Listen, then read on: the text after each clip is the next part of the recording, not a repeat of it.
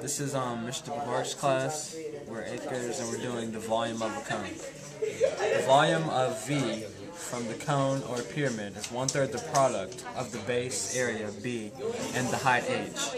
The formula would be V equals one-third BH. You can fill three cones with sand and pour the contents into a, a cylinder with the same height and radius.